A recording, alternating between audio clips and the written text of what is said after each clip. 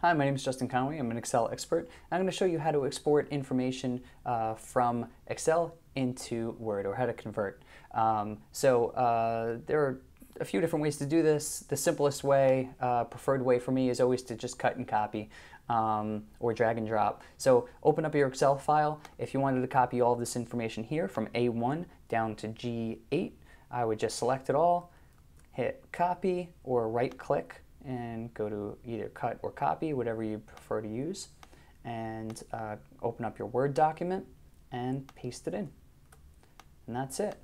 Um, other ways to do this are from within your Word document, you can right click and um, go to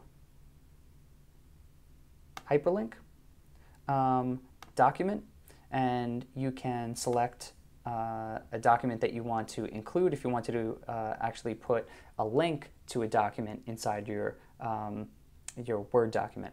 So um, that wouldn't be embedding a document, that would just be linking to the previous, but, um, but that's another way to do it. And a last option that I'll cover is going uh, from the Word document again, you're going to go to Insert, select um, File,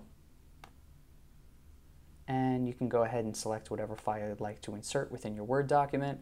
For us, we'll go ahead and select the one called Import. You can click OK. And it'll prompt you with some different options. You can click through click OK, and as you can see here, it imported the entire worksheet.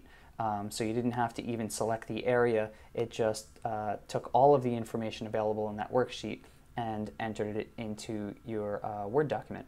Those are the ways to um, uh, convert document from Excel onto Word. I hope you enjoyed. Thanks.